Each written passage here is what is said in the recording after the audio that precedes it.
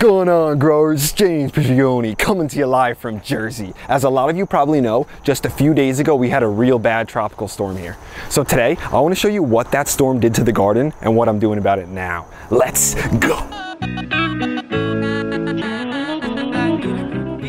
Like I mentioned right in the intro, this storm happened a few days ago, and you'll see this bed right here. I still haven't been able to come through and actually clean this all bed up and get it fixed. The rest of the garden, I've been able to move through and fix a lot of the things, restake some of the tomatoes, which I'm gonna show you. But this storm this year was, it was different than the other years and a lot worse in my opinion. I think it was so bad because of the timing of it. For instance, a lot of the storms we've had in the past, like Storm Sandy, which happened in 2012, that would rip through here really bad. And I was here for the whole entire thing of it. I would say the winds for this storm were probably even a little worse than that, but at this time of the year, all the trees still had their leaves and everything. The tomatoes were loaded with stuff. So all that added weight and added surface area made such a huge difference and it, and it really hit the garden hard. So here's one of the sections that it hit pretty good. That like, that, like I mentioned, I haven't been able to come through and stake some of this stuff up, but we're not worried about what happened in the past. All we can do is focus on what we can uh, make out of this in the future. So what we're gonna do is just turn this negative into a positive. So I wanna show you a lot of the sections that I've kind of fixed. I have some clips from what it looked like before and what it looks like after. So the first one I wanna show you is right behind me here. These tomatoes just got decimated and it was the weight of the tomatoes because they were just so heavy at this time of the year, just full of fruit, even one like this. And what failed on this was just actually the, the bamboo stake. The bamboo stake snapped at the bottom. So it wasn't the clips or anything that failed. It was simply just the stake and the weight of the tomato because it was so high up.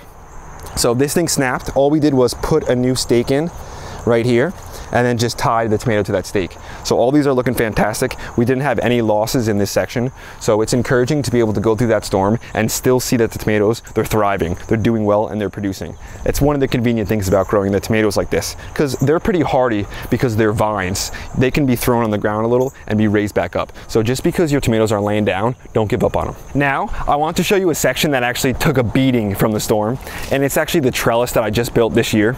The thing that actually makes me really happy is the trellis worked out fantastically. It's not the trellis at all that failed. The only issue was when the wind got so strong and the tomatoes had so many tomatoes on them, I just didn't use a string that was strong enough, so the string snapped in a lot of the spots, which was a little bit unfortunate, but it's not too big of a deal. When the tomatoes uh, fell on the ground from the string snapping, all I did was I had someone come along with me and we just picked the tomatoes back up held them straight up, and then we just transferred the clips from one tomato to the other one. It made it quick, it made it easy, and you can see a lot of the tomatoes are still doing real well. One thing you'll notice too is like right here, this tomato plant, I didn't put the uh, ties close enough to the top here, so we had a really large gap. You'll see about two feet, and as a result of that, it just got too strong from the wind and snapped it right there. So that's my own fault. I need to make sure that I'm continuing to put the clips as the tomato goes up. If you have that same issue where some of your tomatoes are folded like at the top here with my tomato, all I'm going to do is just bring this up here and just put a new clip right there. That's fine. If you've noticed like my tomatoes are, they're so tall that they're at the top, you can do one of two things. You can either prune the top of that, of that all the way at the top, the tomato, so basically that sucker, that'll encourage more lateral growth and more fruiting around the base where you can reach, or you can drop your tomato down. They call it lowering it and leaning it, and then allow your tomato to kind of lean down, bending at the bottom, and allowing just all the fruit to sit at a nicer height for you. That'll allow it to continue to trellis long. But what I'm gonna do is probably just prune the top of my tomato, get more of those suckers. Some of the tomatoes I lost overall, which is, I mean, that's gonna happen, but that's okay. This right here was one of the Jersey Devils, so it's probably only only right that the Jersey Devil gets gets crushed in the in the storm from hell. I guess we'll kind of call it. It was a crazy storm. We still have a lot of ripe tomatoes right here, but there's a few other issues that happened from the storm. A lot of my things blew over, so we had to stake them, like these peppers right here. I typically don't stake these peppers unless I have to, but I had to go around and stake all of them. So what I did was just get this cheap piece of wood right here, eight foot long. I think it was $2. Just cut it into three or four pieces, knock them into the ground and stake them with these plastic clips right here. Makes it really easy and it works well. Another issue that I found from this, especially with my fruit trees, it happened with my annuals as well, is the wind caused them to whip around so much. So the base of the trees formed really big gaps around them. I'll show you. As I move over to this fruit tree, you'll notice around the base of it, because the wind was just so strong and it whipped it around so much, it caused these uh, the gaps around around it. You'll notice, see, like this, even on this backside especially, there's a huge gap on that. So what I'm gonna have to do is stake this tree up to get it upright where it belongs. Then I'm gonna take some soil, this is the soil that I make, and just backfill it. If you wanna know how I make this soil, just check out one of the, the container garden video. I show exactly how I did that. So you'll notice I'm doing this for the fruit trees, making sure we've got some good soil back around the base. Then I'm gonna stake it and tie it up. But this same scenario happened with the annuals, like I'll show you right next to me.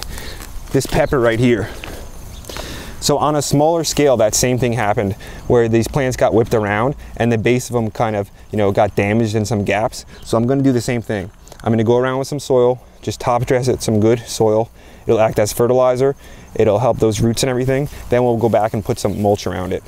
So we're making sure we're gonna go around all the annuals and put this top dressing. This way it's gonna really help the plants bounce back after we have them staked. Some of you may remember earlier in the spring, in this section, we had a lot of brassicas growing, and then one day the groundhog came and he ate a good amount of them.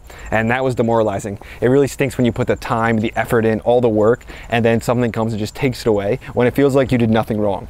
That was the same kind of scenario with the storm, where you put in everything, it looks really well, it's growing well, you're sitting waiting for the harvest, and then the next day, huge crop loss because of storm and again you feel like you did nothing wrong.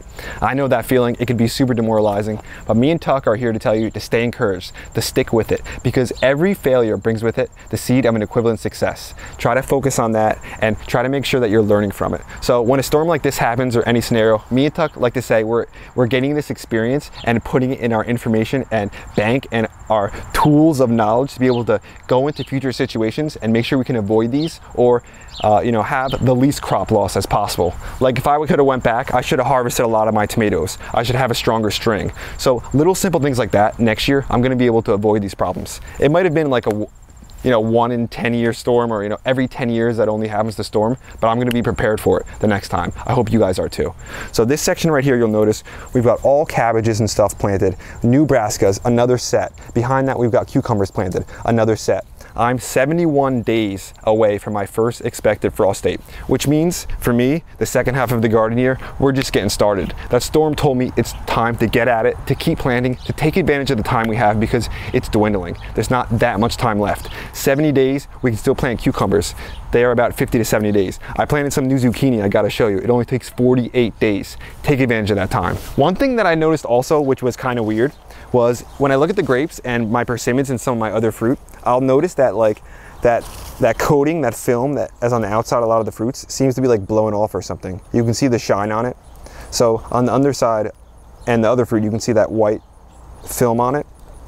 And I believe that's like a bacterial film that helps keep away some of the pests and disease. So I don't think that's a great thing that that got washed off, but there's nothing I can really do about it. Some of the other plants seem like they have that film on it, the grapes. Overall, this grape is doing real well. I can tell it's getting close to ripening though because they're getting softer, the grapes, and they're starting to get that nice color to them. So we've got a lot of grapes that are still just close to being ripe. And in the section behind me too, I've got a bunch of different zucchinis and stuff planted. Like I mentioned, some of those green machine ones that only take 48 days. Tuck, no digging, boy. looks like Tuck dug a hole back there again. Tuck, you crazy, boy. So green machine zucchinis, we've got some different varieties, cucumbers in the back. Over here I have some beets planted and a bunch of different brassicas, but I want to bring you to another section of the garden and show you how some of the stuff fared out. The sunflowers, let's just say those didn't fare out too great. And I'll bring you into the old food forest too, show you how some of that stuff is doing and show you one of the issues I'm having with the hazelnuts. The storm, it was really bad, but it definitely could have been worse. I just, after the whole thing, feel really thankful that we didn't lose everything and it makes me appreciate just getting all the fruit. It makes it even more valuable and even better because it makes it almost feel like I earned it more, even or I'm luckier, even though I'm not for some reason. So we still got some nice soldakis. You know this is one of my favorite varieties. These things are just monsters. And we've got another one here that's gonna be ripening, getting close. I've got some big tomatoes over here. This thing's getting real close too. Look at this baby. Maybe we'll just take it today, let it ripen a little inside. I've got another one like this that's a monster too. Look at that. I think that's just so cool, so unique. And this zucchini right here, this guy has been a monster producer for us. So we'll take these two little ones here. This guy, about the perfect size. And this guy over here. These things took a beating from the storm too, but these zucchinis have just been such monster producers. And I've talked about it before, but when it comes to the overall production, I think, of this zucchini, a lot of it comes back to the fact of good variety selection. I think I've almost mentioned the name of this variety zucchini in like almost every video I did because I want a lot of you growing it if you're having issues with zucchinis. This one's an easy one to grow with huge, delicious zucchinis. Let me bring you to a section right over here now where I've got another round of zucchinis planted that are, I guess, planted about three weeks ago. So I'll make sure that I'm continually getting these harvests up until the fall, up until the frost comes. These ones have done well. They're producing some flowers, some young zucchini, and uh, nothing fully pollinated yet, but they're doing real well. And then this section along here, this stuff is starting to slow down a little bit, I'm noticing, especially along the fence line. So I've got a next round of zucchini and cucumbers and stuff that I'll be planting right in there to replace all of it. I mentioned the, uh, the sunflowers took they took a beating. Let me show you this one over here. I've had sunflowers, the tallest I've ever had them this year. They were like 10 or 12 feet tall, but you know, big trees fall hard or big sunflowers. This thing just snapped like a twig, like it was nothing. And these sunflowers are actually strong because they're not super hollow plants, but still, just snapped right in half. My, some of my other sunflowers got ripped out of the ground. I have to say, I was surprised for how bad the storm was, how little damage there actually is in the garden. I did lose some tomatoes though, which is a little bit unfortunate, but that's gonna happen. Right here, we've got this monster tomato too. This one's doing real well. Let me just cut this out because we gotta harvest it. One of the better tomatoes of the year probably so far. Beautiful. So if you have a section where some of your tomatoes died, like I had one die me here, what we're gonna do is look for a tomato that has a really long sucker on it. Then we're gonna cut that sucker out and push that into the ground and try to root it.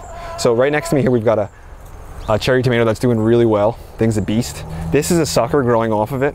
You notice growing from the crotch of the stem. So what I'm gonna do is just cut this out. Then this right here is essentially another tomato plant. It's got the top on it. You'll notice right here is the top. So what I'm gonna do is just cut it about here, cut all those side branches off, and then we're gonna push this into the ground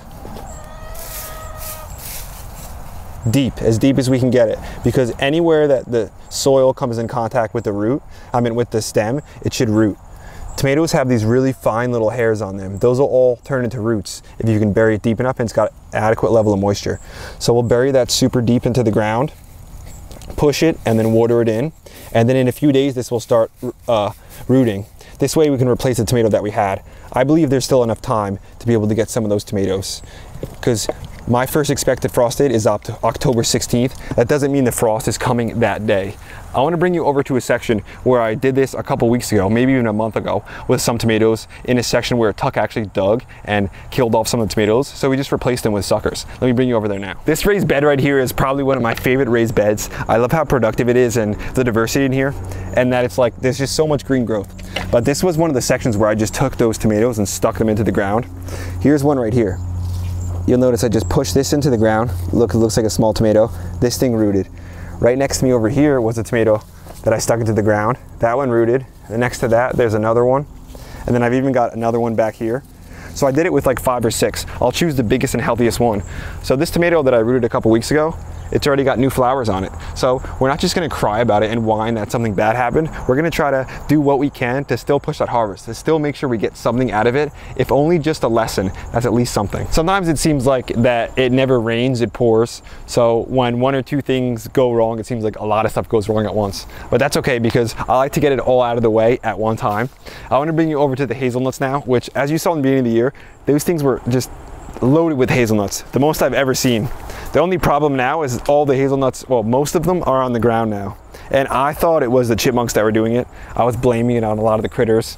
And I know that the chipmunks got to some of them because all these shells are cracked and open, but that's not actually the issue. Because I'll notice when I break into some of these hazelnuts, they're blanks on the inside, which is unfortunate. I did some research and it said that basically there's no it almost seemed like there was no definite reason why the hazelnuts are blank sometimes. There were some varieties that I read in the past where they were producing well and then all of a sudden they just started producing like 8 or 10% blanks. So it's not something that will happen every single year, I don't think. They listed a lot of the issues as often environmental issues or not enough watering, not enough fertilizer, not enough light. So I think it's probably not enough water and not enough fertilizer. I put this tree in years ago and I haven't really taken that much care of it. So this year I'm gonna put some fertilizer at the base of it, so maybe some form of manure if I can get a good amount of chicken manure so that I can get a good harvest from it. The issue isn't pollination because I have all these hazelnuts, so I know it's not pollination. This year though, I can already see some of the catkins forming for next year. So that's encouraging. And on the other hazelnut tree, this one has an insane amount of catkins because they pollinate one another. Hazelnuts can't pollinate themselves, even though they both have male and female. They have both two of male and female, but they don't pollinate. You need a different variety. So these will pollinate each other. We're getting good pollination. It's just that variety, for some reason, dropped the nuts. This variety isn't dropping them, which is cool.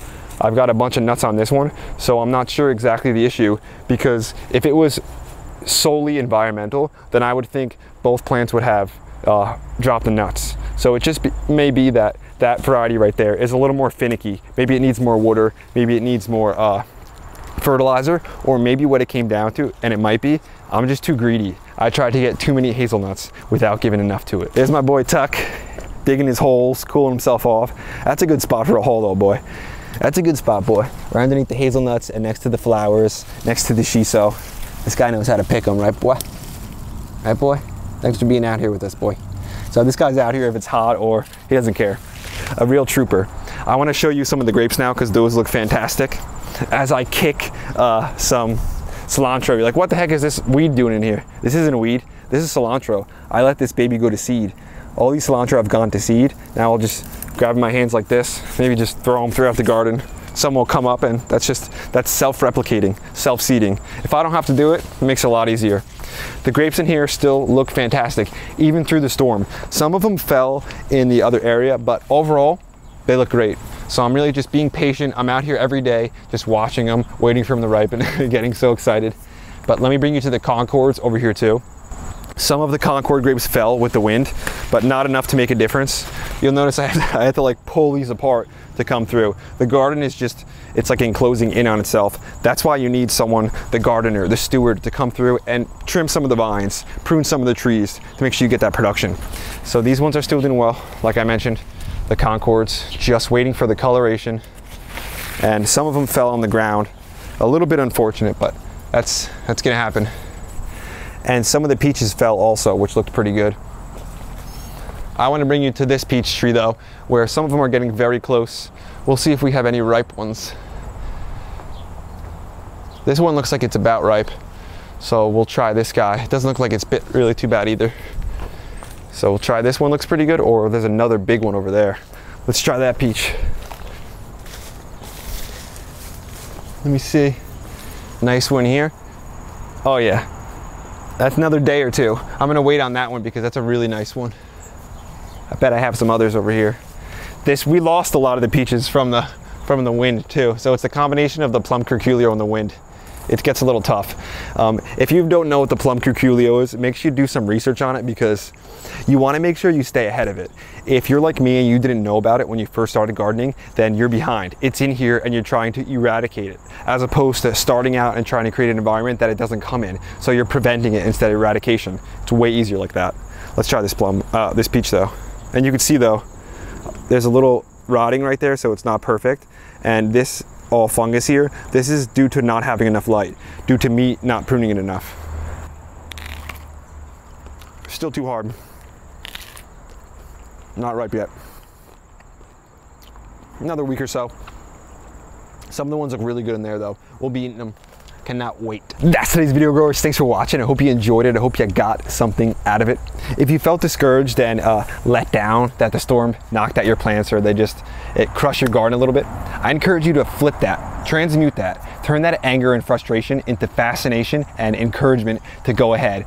Let that motivate you. It doesn't have to bring you down. So that's something that can really make a big difference. For me, the hazelnuts, you know, I'm not going to get a lot of fruit this year, and it and it, it's unfortunate because I thought I was going to have so much with all the uh, the shells. I mean, it was just like it is tough seeing all the shells and then no fruit inside of it. That can be a little hard and a little demoralizing too. But I'm not going to quit because I know someone. Uh, you know, a huge motivator for me and someone that's a big influencer on my life, Joel Salatin. And he said, when something's worth doing, it's not worth, uh, you know, getting it right the first time. Instead, if something's worth doing, it's worth doing it until you get it right. So growing fruit trees, and getting hazelnuts, I don't care how many times I get it wrong, as long as I'm improving and in the future I will get it right, I'm always gonna work towards that goal. If you guys enjoyed the video, hit the like button, hit the subscribe button, share with your friends. Don't forget to check out the merch down low. And remember, whenever you're shopping on Amazon, start your shopping with our Amazon affiliate link. It doesn't cost you anything, it helps us out a lot. And me and Tuck wanted to say thank you to everyone who is using it. It really, it does make a difference. I can't show you directly, but it helps and we appreciate your continued support. So if you guys enjoyed the video, hit the like button. We'll catch you again real soon. Tuck and James, we